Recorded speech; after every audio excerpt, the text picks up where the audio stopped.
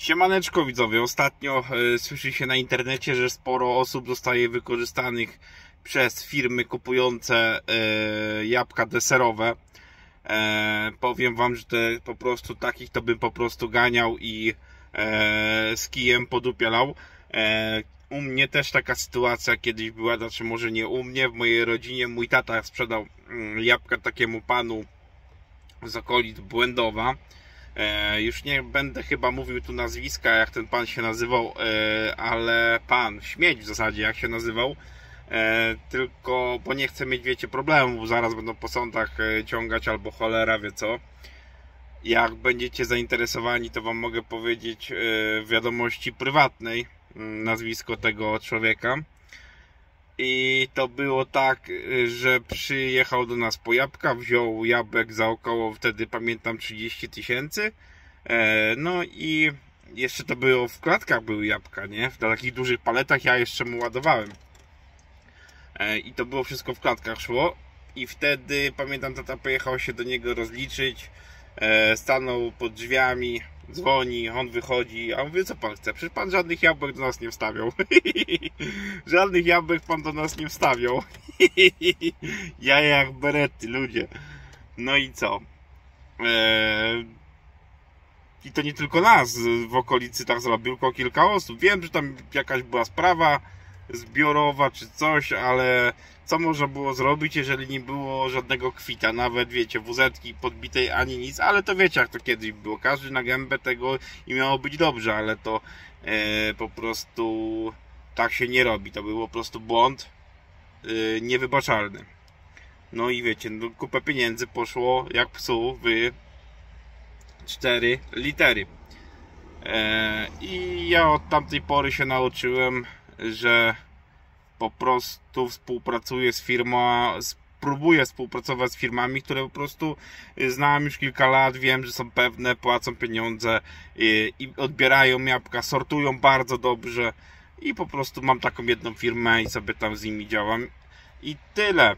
E, w tym roku, i właśnie to jest też taka nauczka, bo wiele osób e, lata z kwiatka na kwiatek też, że na przykład o w tym roku 20 groszy, 50 groszy, tam może 50 nie, ale 10-20 groszy gdzieś jest drożej i, i, i osoba, którą, która handlowała z firmą 2-3 lata, kiedy tych jabłek było dużo, ona już leci na 10 groszy i, i, i wiecie, i i chce nie wiadomo ile zarobić, a potem się okazuje, że tak naprawdę i tak tych pieniędzy nie dostaje, albo ma problem, dostaje za pół roku, albo cholera wie za jaki czas.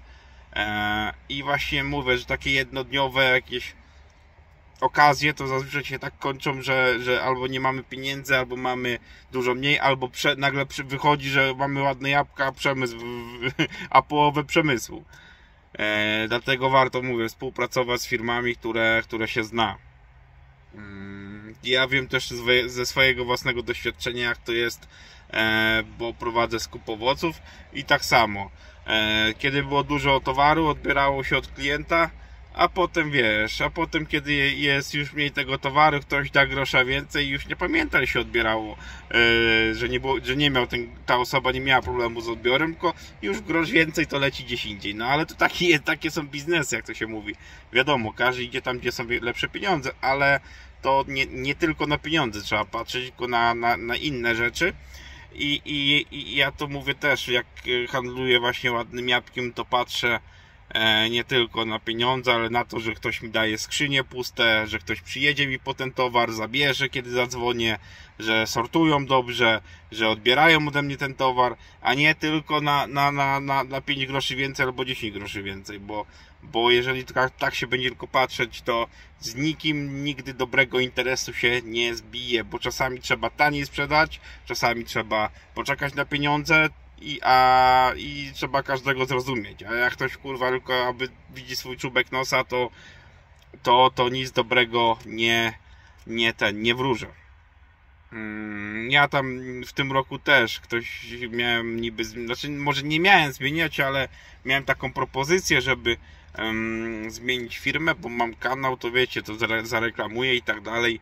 E, a ja powiedziałem, że ja nie, dziękuję, no bo, bo tak sobie to wszystko przemyślałem bo e, właśnie w takich latach jak te, buduje się dobre relacje biznesowe z firmami, z którymi się e, już tam 2-3 lata handluje. I uważam, że właśnie przez to, że ja nigdzie nie, nie pójdę, tylko zostanę w tej firmie, w której cały czas jestem i, i, i współpracuję, będę współpracował, to oni będą patrzeć na to, kiedy będzie w brud Idareta, kiedy będzie w brud e, Szampiona i innych odmian i też będą to ode mnie odbierać rok w rok. E, ja powiem Wam, że już to kiedyś ktoś się mnie pytał właśnie, z jaką firmą współpracuję. E, jeżeli chodzi, gdzie ja sprzedaję jabłka, to do Popowic. Pewnie wielu, wiele osób z Was zna tą firmę. Jula Sad, pan Grzegorz Gniadzik. Ja cały czas tam jabłka oddaję i naprawdę bardzo chwalę, bo e, czy sortowanie, czy coś bardzo zawsze dobrze wychodzi. Pieniążki do miesiąca czasu i, i, i no i tyle w zasadzie. Wiem, że latanie z kwiatka na kwiatek nie jest dobre. Nie jest dobre i to nic dobrego nie wróży. Co do kombajnu widzowie, no kombajn, y, nagrania z kombajnu takie pełnometrażowe będą poniedzieli. E, myślę, że no nie wiem, no jak będzie czas, bo też wiecie, jak się kurde pójdzie do kogoś na usługę, to, to nie ma czasu, żeby yy, coś tam nagrywać, ale postaram się, postaram się coś tam ponagrywać, żebyście mieli fajny film z plusów i minusów kombajnu i tak dalej, i tak dalej. Także pozdrawiam. Jutro też pewnie będzie materiał, bo mam już naszykowany, tylko jeszcze muszę parę rzeczy dograć. Eee, także pozdrawiam widzowie. Do juterka. Cześć.